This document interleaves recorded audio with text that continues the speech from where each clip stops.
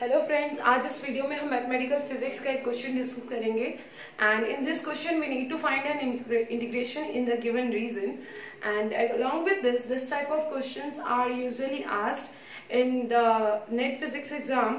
And this is very important from the exam point of view. तो चलिए start करते हैं ये क्वेश्चन एंड ये क्वेश्चन दिसंबर 2012 नेट फिजिक्स एग्ज़ाम में पूछा गया था। So let's start So the question is we need to find this integration within the closed curve contour. Okay, closed contour C where C is defined by the equation 2 mod Z minus 5 is equal to 0. Okay, and the function is Z cube upon Z square minus 5Z plus 6 dz.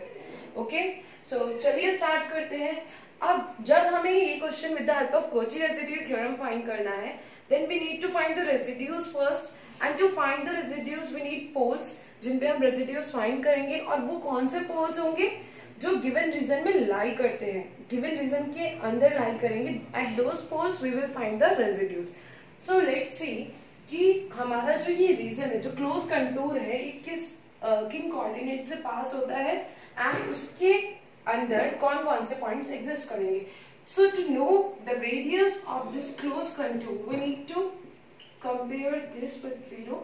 So from here we will find mod z is equal to 5 upon 2. That means this is equal to 2.5.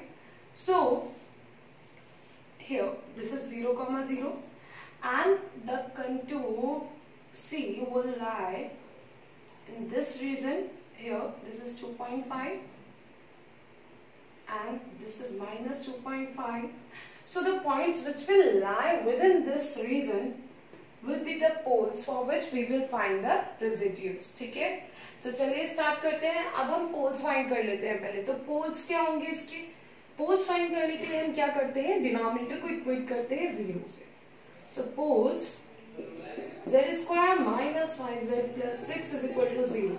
So from here, when we will split the middle term, okay, we will get 3 plus 2 z plus 6 is equal to 0. Then z square minus 3z minus 2z plus 6 is equal to 0. From here z, z minus 3 minus 2 z minus 3 equal to 0. And then we'll get z minus 3 and z minus 2 equal to 0. So from this equation z is equal to 3 comma 2. So these are the two poles. Okay. अब हमें check करना है कि इनमें से कौन सा पोल हमारा गिवन रीजन में लाई करता है सो so, थ्री जो है अगर आप देखें टू पॉइंट फाइव के बाद में यहाँ कहीं थ्री आएगा। सो so, थ्री क्या है? Outside this region three will not consider three to find the residues okay but if you talk about the two so two कहा है? टू पॉइंट फाइव से पहले यहाँ कहीं होगा। So for two we will find the residue क्यों? क्योंकि वो क्या है? गिवन रीजन गिवन कंटूर के अंदर लाई करता है।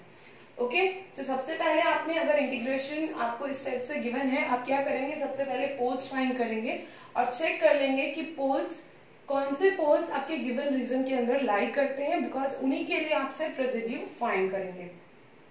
So next step will be now after finding the poles हमने चेक कर लिया कि कौन से पोल के लिए हमें रेजिड्यू फाइंड करना है। Z is equal to 2 के लिए, okay? Why? Because only this pole lie inside the given contour.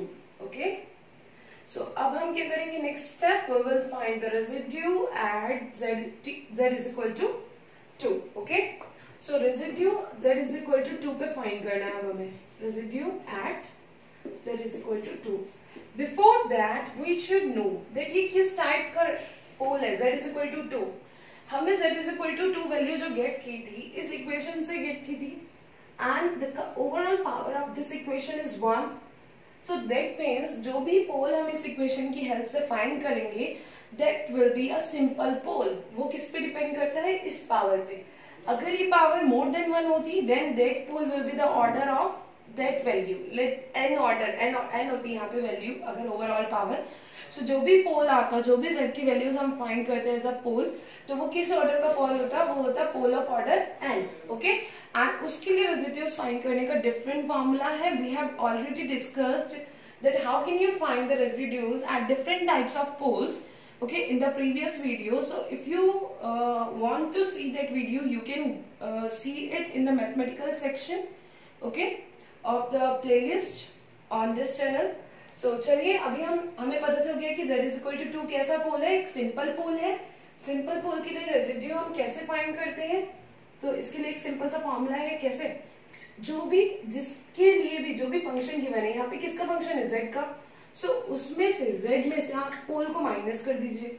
यहाँ सिंपली टू थी पोल की वैल्यू तो माइनस कर दिया। देन फ़ंक्शन ऑफ़ जेड जो भी यहाँ क्वेश्चन में गिवन है उसकी वैल्यू फाइंड कर लेंगे at the pole okay so this is the formula to find the residue of simple pole okay this is the formula to find the residue of simple pole now as z की अगर हम value रखें तो ये आएगी z cube upon z minus two into z minus three क्योंकि अभी हमने by splitting the middle term method हमने इसके फैक्टर्स किए थे जब हम पोल्स फाइंड कर रहे थे. सो so, ये वैल्यू आएगी and after this put z is equal to 2 now z minus two से z माइनस टू कैंसिल अब हम क्या करेंगे? नेक्स्ट स्टेप में z की जगह क्या पुट कर देंगे? Two then you will get z is z cube will be two cube upon two minus three equal to eight upon minus one that will get minus eight so this is the value of residue at z is equal to two और at the pole which lies in the given region now the next step last step is to apply Cauchy residue theorem हमें याद रखना है कि residue की value कितनी आई है इस पॉइंट के लिए? Minus eight okay so now we will apply the Cauchy residue theorem so Cauchy residue theorem क्या होता है? देख the integration of given function will be equal to two pi iota and sum of residues at poles within the region okay so integration of this function same function will be here dz will be equal to 2 pi iota into sum of residues at poles within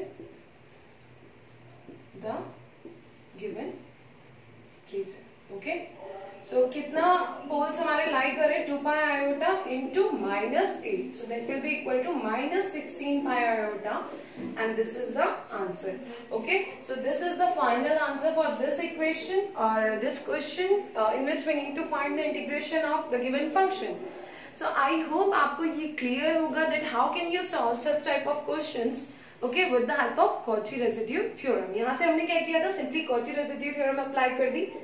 ठीक है? And then after applying Cauchy residue theorem क्योंकि यहाँ पे हमारा एक ही पोल लाई कर रहा था within the given region that is two उस टू पे रेजिड्यू की वैल्यू कितनी आई थी? Minus eight so sum of residue करने की ज़रूरत ही नहीं पड़ी सिंपली एक ही पोल था। माइनस एट की मल्टीप्लाई कर दी हमने टू पाई आयोटा से and we will get minus sixteen pi iota as the final answer so friends I hope आपको ये क्लियर होगा कि कैसे आप इंटीग्रेशन सॉल्व कर सकते हैं। एंड हमने डिफरेंट टाइप के इंटीग्रेशन सॉल्व किए हैं and the videos are available on this channel आप उनको भी देख सकते हैं कि which pattern you can follow to solve such kind of integration very important question from the exam point of view. So please practice uh, more questions on uh, such type of such type. And uh, keep on watching this channel guys. And अगर आपने अभी तक ये channel subscribe नहीं किया है तो please subscribe कर लीजिए because there will be more videos on this channel which will help you to prepare in for physics exams CSI NET physical science exam and all other physics exams. So thank you very much for watching this video